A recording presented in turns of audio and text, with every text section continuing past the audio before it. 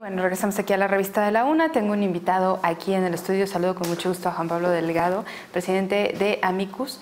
Eh, nos vienes a presentar una campaña muy importante que hoy eh, hicieron pública, que se llama Visible. Cuéntanos eh, en qué consiste, es una campaña importante para garantizar pues, las no agresiones a, la a los integrantes de la comunidad LGBT. Sí, pues primero agradecerles la invitación. como siempre, muchas gracias que, que Zona Franca pues es un espacio en el que Amico siempre está presente, ¿no? Aquí escribimos constantemente nuestras columnas y, constantemente nos cubren, entonces pues, en primera instancia agradecer siempre a Zona Franca por el espacio y después sí platicarte sobre el nuevo proyecto de, de, la, de la, organización.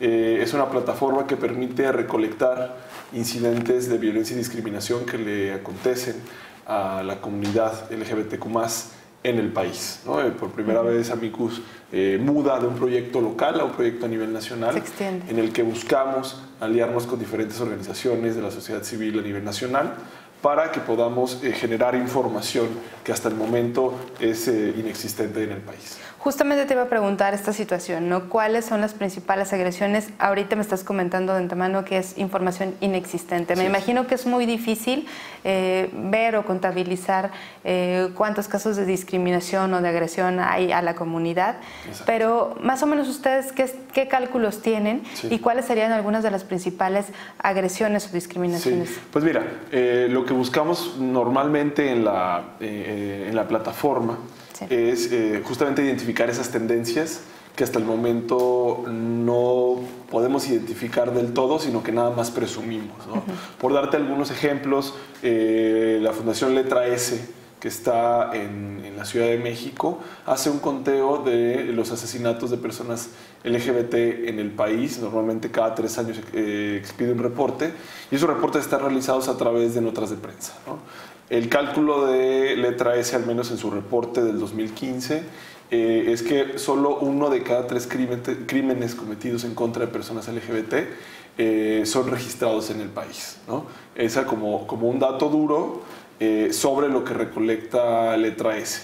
Hay algunas otras estimaciones que realizan organismos internacionales como la Comisión Interamericana de Derechos Humanos, que presume que México es el segundo país más violento hacia las personas LGBT después de Brasil en Latinoamérica, aunque también creo que aquí vale la pena hacer, eh, poner un asterisco ante esa cifra que la propia Comisión Interamericana ha dicho, eh, que puede ser porque los medios de comunicación en México tienen a cubrir más este fenómeno que en otros países, o incluso que por el tamaño de población que tiene nuestro país es que ocupe ese lugar y no necesariamente sea eh, eh, una cuestión, de, cuestión de, ranking número dos. ¿no? Eh, sea cual sea, la situación es preocupante porque este es un fenómeno que se presenta. no obstante, todo viene en base a estimaciones de organizaciones de la sociedad civil o de medios de comunicación. Nunca nada que el gobierno o los gobiernos recolecten como parte de la información pública que están obligados a generar. ¿Ya habían hecho algún eh, estudio similar las organizaciones aquí en Guanajuato para medir este impacto en las agresiones? Lo que habíamos hecho es un ejercicio de medición de información de acuerdo a lo que le preguntamos al gobierno que estaba sucediendo. Entonces, en determinado momento lo que hicimos fue decirle al gobierno si estaba midiendo eh, en diferentes entidades eh, públicas fenómenos relacionados con personas LGBT. Por ponerte un ejemplo, a la Secretaría de Educación eh, de Guanajuato se le preguntó el número de incidentes eh, que tengan que ver con acoso escolar hacia niñas, niños y adolescentes LGBT en el Estado. La respuesta de la Secretaría de Educación eh, en el 2016, esto fue, fue no hay información y no hay información porque eh, la ley en la materia no contempla el acoso escolar hacia personas LGBT. O sea, no han hecho este tipo de particularidades para medir el impacto, ¿verdad? O sea, no han generado políticas públicas ni siquiera pues visibles en un momento como para hacer visible a la comunidad o hacer visible que hay una, problemática específica en este sentido. Y entonces si carecemos de la información, no podemos evidenciar el fenómeno por más de que sepamos las organizaciones que nos dedicamos a esto y las personas que pertenecemos a la comunidad, que son incidentes cotidianos de manera desafortunada, no tenemos la oportunidad con, con evidencia sólida, ¿no? con datos duros, de decir, este es el fenómeno que más se presenta y, tiene estas características. ¿no? Entonces, eh, a partir de este diagnóstico y poder decir, no existe la información porque el gobierno no la genera, iniciamos esta, eh, este nuevo proyecto, financiado, importante decirlo, por una universidad extranjera, eh, para poder generar la información que el gobierno mexicano, en este caso porque es un proyecto nacional, no genera y tampoco los gobiernos de los estados ni los municipios. Ahora bien, cuéntanos de qué se trata Visible, cómo funciona. Eh, yo ya estuve revisando, es una plataforma bastante útil, pero que nos cuentes un poco de cómo la podemos desarrollar, cómo la podemos buscar y en, qué consiste o cómo haríamos esta denuncia. Eh, yo la, manera más fácil es acceder a las redes sociales de Visible, son visible.mx en Facebook e Instagram, visible-bajo. Eh, MX en Twitter. Ahí le damos clic al, sitio web y redirecciona a la plataforma. La plataforma contiene ocho campos eh, que tienen que ver con los datos de la víctima. Importante decir, no recolectamos ni el nombre ni información que puede identificar quién es la persona. Solo se pregunta un rango de edad y lo que tiene que ver con su orientación sexual, identidad de género y expresión de género.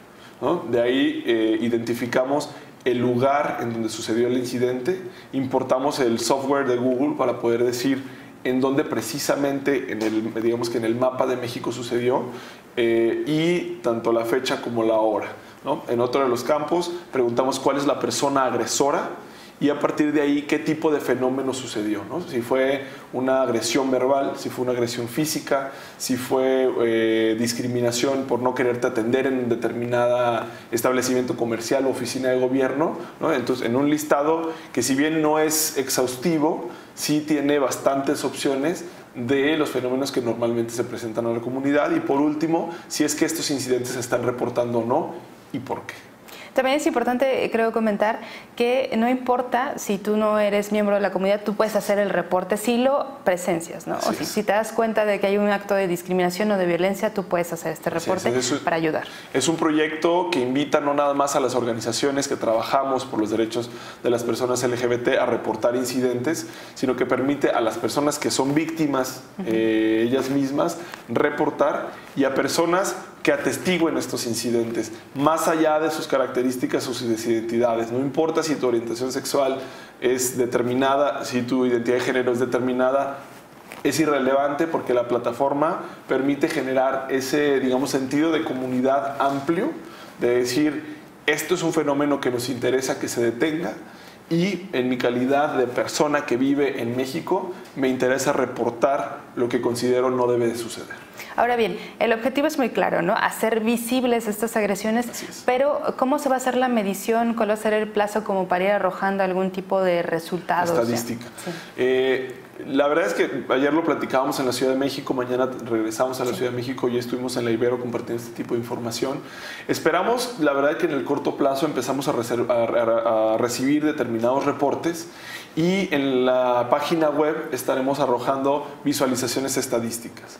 La más importante eh, será un mapa del país en donde podemos identificar en dónde se están presentando con más frecuencia estos incidentes y otras estadísticas relacionadas al rango de edad de la persona, su orientación sexual, su identidad de género, cuáles son las personas que más tienden a agreder a las personas LGBT, en qué espacios se presentan con más frecuencia. E, y, en determinado momento empezaremos a emitir reportes de acuerdo a lo que se está eh, presentando en la plataforma. Importante decir que la plataforma, si bien fue creada por Amicus, no es una plataforma que sea de Amicus. No pretendemos que sea propiedad de la organización, sino que cada una de las organizaciones en el país se puedan adueñar de este instrumento para que cada quien pueda utilizar la información de acuerdo a los fines de cada una de las organizaciones. Que sea una herramienta útil, general, pero bueno, también la invitación a la población para que participe, para que pueda, en caso de ver alguna agresión, que ojalá no la vean, pero en caso de que la presencien o que también la, sufran, pues que puedan reportarla para ayudar a tener eh, estas estadísticas que mucho hacen falta y hacer eh, consciente pues a la población y al gobierno de que se debe atender este problema. Claro, entonces el llamado pues es a las organizaciones de la sociedad civil, ahora sí que en todo el país que trabajan eh, temas LGBT, incluso a las que no las trabajan, para que puedan socializar la existencia de la plataforma, para que ayuden a las personas que no tienen acceso al Internet a poder denunciar estos incidentes y también el llamado es a la sociedad civil en general eh, convocar a la ciudadanía a que reporte este tipo de incidentes. Eh, muchas veces en esta desafortunada cultura de no reporte o de no denuncia que se presenta en México, una de las principales causales es que no se confía en el gobierno. Se tiene esta desesperanza de que no se va a hacer nada o incluso de que se va a revictimizar a la persona al momento de denunciar. Esta es una plataforma 100% eh, no gubernamental, es una plataforma que no recolecta ningún tipo de dato personal para no identificar a la persona y el sitio web está blindado. Eh, con ciertos candados para no rastrear ni siquiera eh, de dónde viene el reporte, ¿no? de tal manera que se pueda garantizar el anonimato 100% de quien está reportando. Pues Juan Pablo Delgado, muchísimas gracias por esta información y pues reiterar a la ciudadanía que nos ve que participen en esta plataforma. Eh, la nota también con la información detallada de Vania Jaramillo la van a tener en unos momentos en la página de Zona Franca. Te agradecemos mucho esta información y pues ojalá eh, que tengan mucho éxito con esta plataforma. Pues esperamos que sea así. Muchas gracias. Muchísimas gracias. Pues así como llegamos al final